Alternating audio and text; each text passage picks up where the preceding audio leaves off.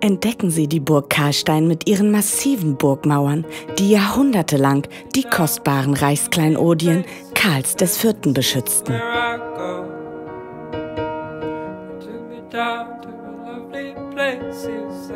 Lassen Sie sich von der Schönheit der tiefen Wälder um Burg Schivoklad verzaubern, die Karl IV. so sehr am Herzen lagen, dass er niemandem erlaubte, auch nur einen einzigen Baum zu fällen. Bewundern Sie die historische Architektur des Städtchens Kutna-Horror und kosten Sie den ausgezeichneten lokalen Wein.